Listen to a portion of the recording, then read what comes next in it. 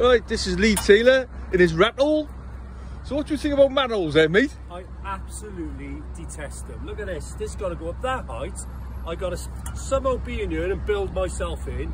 I'm like a rat in here, and everything sucks at the moment, mate. And what do you think about our wages, which we haven't been paid about?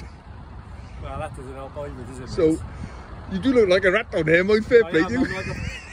I'm like a, I'm like a proper rat. We've uh, got to do two of these a day to cover our money. Yeah. It just sucks at the moment. How's that bike of yours anyway? Bike's not fixed and you're a rat with tits.